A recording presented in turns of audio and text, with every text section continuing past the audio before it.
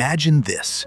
The Quinjet from Avengers, the Razor Crest from Star Wars, the Pelican from Halo, and the Quad Tilt Rotor from Edge of Tomorrow, all roaring off the screen and into real life. For decades, these machines were pure science fiction. Vertical takeoff, jet speed, and the freedom to land anywhere. FAA officials called tilt rotors the most challenging certification in aviation history. A Pentagon report warned the V-22's transition phase is a crash waiting to happen. But then, the world changed. DARPA, Bell, and Leonardo started flying machines that looked like they belonged in a blockbuster. And suddenly, the second VTOL revolution was real. This is the story of how vertical flight went from failed prototypes and fantasy to the next big leap in military and civil aviation. After hours digging through documentation, old news clippings, and test pilot interviews, I found a story that flips the script on what most people think about the future of flight. While everyone focused on helicopters and jets, a new breed of aircraft was quietly solving the problems that killed every VTOL dream for 70 years. What you're about to see is how sci-fi became a flight plan, and why the next war, and maybe your next commute, will be vertical.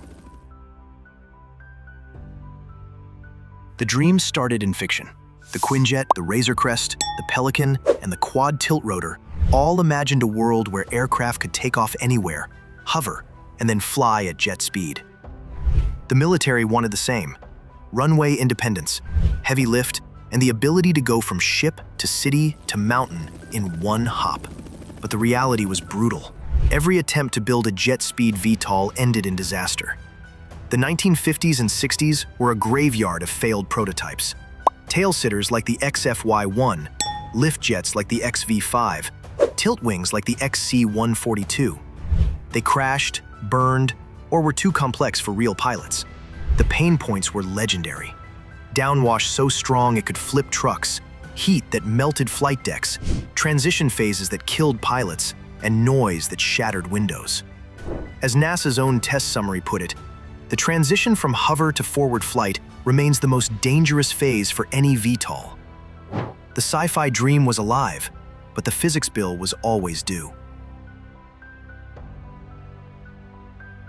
The graveyard of VTOL dreams has names you've never heard. The Convair XFY-1 Pogo, a tail sitter that required pilots to land while looking over their shoulder, blind. The Ryan X-13 Vertijet, strapped to a trailer, it could take off vertically, but killed test programs with its impossible landing demands. The Lockheed X-V5, lift jets that melted flight decks and deafened ground crews.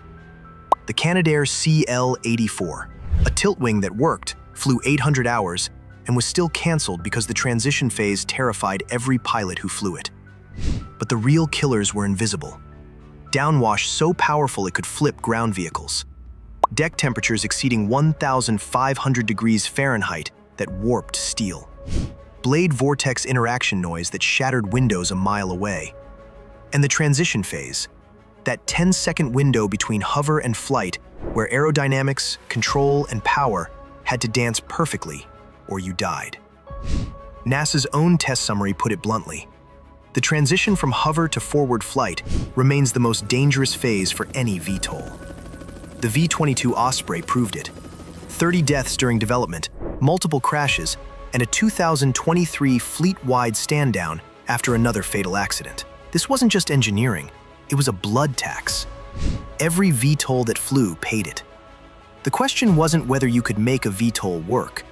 It was whether you could make it work without killing the people who flew it. And that's exactly what the second revolution had to solve. The first real VTOL winners were the Harrier, F-35B, and V-22 Osprey. The Harrier gave the Royal Navy and U.S. Marines a way to launch jets from small decks. The F-35B brought fifth-gen sensors and digital controls to the fight. The V-22 Osprey, born from the XV-15, became the world's first operational tilt rotor. Airplane speed, helicopter access, and three times the range of a Black Hawk. But every winner paid a price. The Harrier's performance penalty, the F-35B's heat and weight, the Osprey's downwash and deck heat, and auto-rotation limits. The Osprey flew over 700,000 hours, but not without crashes, groundings, and a reputation for being too dangerous for civilians. As a Bell test pilot put it, the Osprey flies like nothing else, and that's both the promise and the problem. The first revolution proved VTOL could work, but it was always a compromise. Enter Italy. Leonardo didn't try to copy the V-22. They asked, what would a civil tilt rotor need to succeed? The AW609 was designed for 270 knots, pressurized to 25,000 feet, and built for known icing. Triple redundant fly-by-wire, two PT-6C67A engines, and a cabin that could carry two stretchers and five medics for EMS, or nine passengers for offshore missions. The missions were civil, emergency medical services, offshore oil and gas, parapublic and security, downtown to downtown city hops.